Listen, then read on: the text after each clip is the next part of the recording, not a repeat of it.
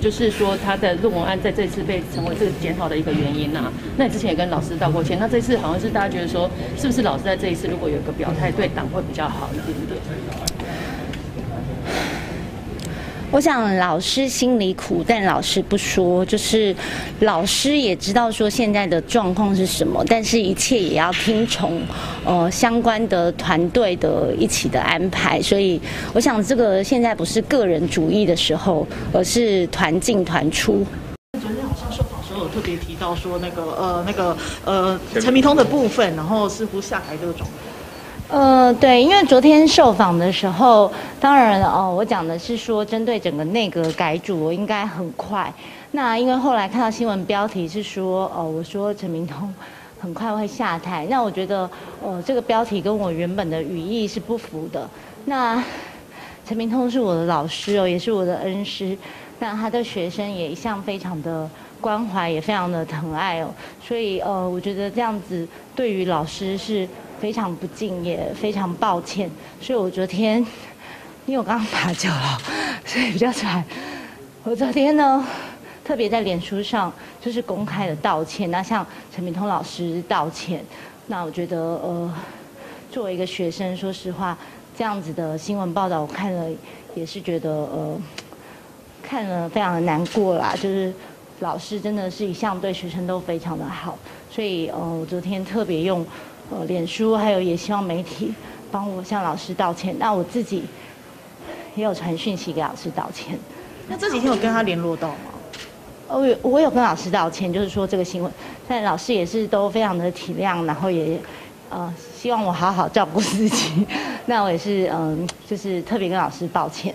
我应该就是因为像老师的这部分，就会被很多人认为说会不会影响到宜农或者是整个民进党，然后所以像国民党他们都是说要他下台。然后要你自清民负，你觉得老师这部分还需要负责？其实我觉得吴怡农到现在的这个选战的打法都还蛮正面，而且呃就是呃跟传统的选战手法不一样。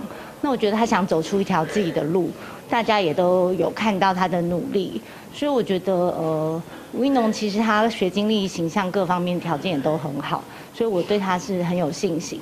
那对于整个民进党在这一次败选之后的检讨。我相信也是如火如荼的正在进行中，那外界也有很多期待，也希望我们改革。那所以在这个部分，不管是党主席或者是整个内阁的改组，其实我的意思就是说，这个会非常的快，然后让大家哦能够有耳目一新的感觉。我人怎么看？因为其实你昨天讲完那些话，然后网友就有一些留言，就请你希望你能够闭嘴，不要再说了。对。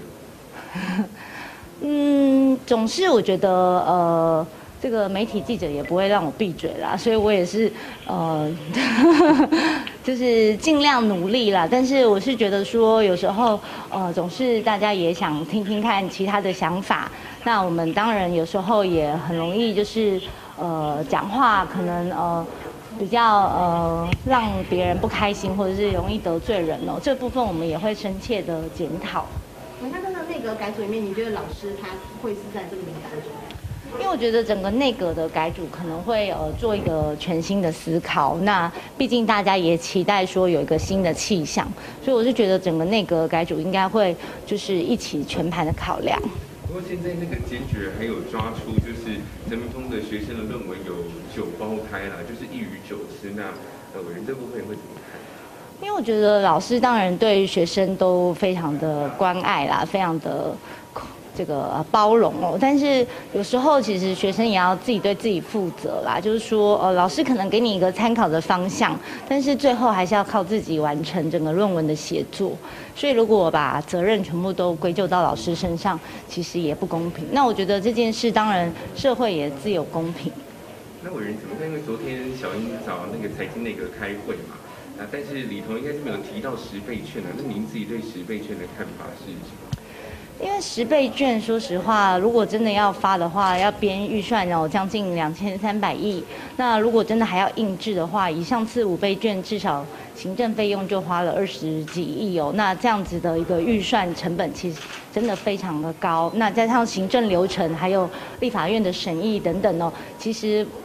可能根本无法在过年前完成，那除非是发现金哦。但是有没有这样的预算，立法院能不能通过，又是另一回事。但是我觉得政府确实要考量哦，因为疫情的关系，有很多的呃家庭经济上确实是陷于困难。那如何去帮助这些呃经济陷于困难的这些呃家庭哦，度过难关，度过年节哦？这个我觉得要有。多一点的关怀的方案来协助他们，这个非常的重要，所以我觉得政府在这方面可能要多努力。我那真的有一些声音，看不管是网友或者是一些支持者，他们都喊话说希望你退还。这部分呃我也说明过了，其实就是有呃不同的声音。那我自己所呃听到的，我这边的民意或者是有很多。呃，支持者他们也希望我能够继续留在民进党里面勇敢的发声，然后有不一样的声音。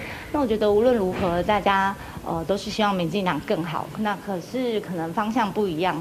那如何寻找出共识，然后呃一起努力，这个就是未来民进党改革的重点。所以不会担心两年后的港独立委补选，呃，李立委的选举。我觉得就是把自己做好就好了。其实，嗯，什么事情都不用想太多，就是呃，每一天都把每一天过得好，这样最重要。也希望大家都把日子过好，好吗？嗯，那我们讲一下，今昨天是不是有接到这个恐吓的电话？嗯，对，因为呃，我因为我当时都在外面跑行程，那么呃，我们的助理哦就跟我反映，大概在昨天下午三点多钟的时候，那么我们的办公室有接到一通电话，那那个电话呢，呃，里面呃就是后来我们听到呃录音。党事实上，它确实是一个呃威胁恐吓。那大致的内容就是说，嗯，如果我一直讲黑道的话，那么呃我们会开枪哦，这样子。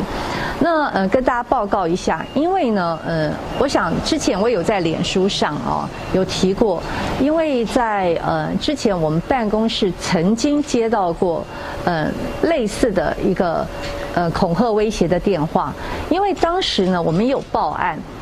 那。因为我们当时没有录音，所以其实造成警方嗯他们整个办案的困难度。那所以呃后来我就嗯告诉我们的助理啊，说如果未来办公室有接到类似这种恐恐吓威胁的电话的时候呢，就是尽量来录音。那所以昨天我们的助理也非常的呃警觉性高，当他听到这样的一个恐吓电话的时候，他就启动了他的那个呃手机用手机。来录音。那会不会觉得说，因为政府现在口口声声说要扫黑，那是如果真的要扫黑，是先抓出幕后的主谋开始，而且现在感觉上好像真的是黑道治国。呃，我必须强调，就说，所以，呃，因为我昨天一直在跑行程，那我就跟我助理说，我说，嗯，我会亲自去报案。那我们为什么立刻报案？就是说，我们不能够纵容这样的一个威胁恐吓的行为。那么，所以也拜托警方啊，能够尽速的能够找到是什么人做的，然后幕后有没有人主使。所以，我觉得今天我们要，嗯，大家一起，就是，嗯。要阻止啊黑道这样子的猖獗啊，那么黑道治国，所以我觉得这就是要靠我们大家的力量。嗯，帮我加强对你人身安全的保护呃，我很老实的跟大家说，我昨天呃我们的办公室就帮我申请了水户。其实啊，呃大家也知道，其实我参选过很多次，我从来没有申请过随户。那么即使呃之前嗯，比如说。有些选举，像我们在这次的议员选举之前啊，我们的呃分局长也有来询问过我说要不要申请随护，那我都说呃我都谢绝啊。那但是呃这一次，因为我也有必要去呃保护我的团队，所以呃昨天团队商量之后，所以他们呃帮我申请随护。那想问一下，就说因为你刚说不是第一次，那上一次大概是什么时候？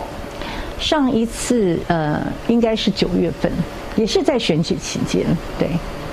哎，那你会觉得说，是不是你讲了哪一句话，或是就是特别指到谁，然后有触怒到后面的人？呃，我目前不敢确定哦。呃，我觉得对我来讲，我觉得我应该要有的责任就是我们立刻报案，立刻请警方来呃侦查。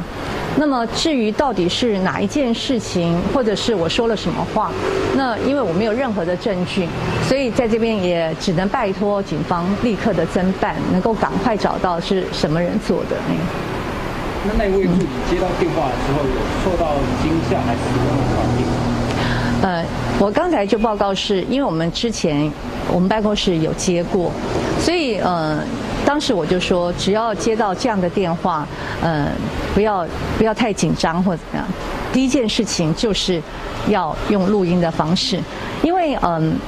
就是我，我刚才跟大家讲，就说因为之前有呃类似的这个状况，那么警方因为没有录音档，那而且呢，我们现在一个状况就是比较呃麻烦，呃，警方有跟我说，就是因为他们都是透过呃议会的主机进来的，所以它不会显示他的来电哦。那么大家也知道，这个议会一天呢，从经过主机，然后转到各办公室，呃，非常非常多的电话，所以呃，他们就会增加他呃。警方办案的这样的一个难度，所以呃，我们当时就跟我们的助理说，只要接到电话，赶快去录音这样子。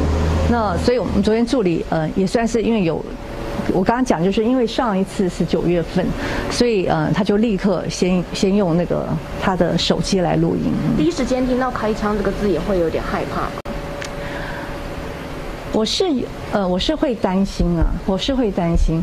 那么我我刚才也讲，我也有我的责任去保护我们的团队，所以呃，我觉得还是小心为上。